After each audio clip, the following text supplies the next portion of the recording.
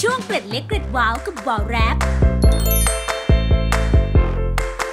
เมื่อคุณแม่ทอดเกี๊ยวกรอบๆแสนอร่อย เตรียมไว้ให้ลูกทานในมื้อถัดไป แต่กลัวว่าเกี๊ยวจะไม่กรอบ มีฝุ่นเกาะหรือมีแมลงมาตอม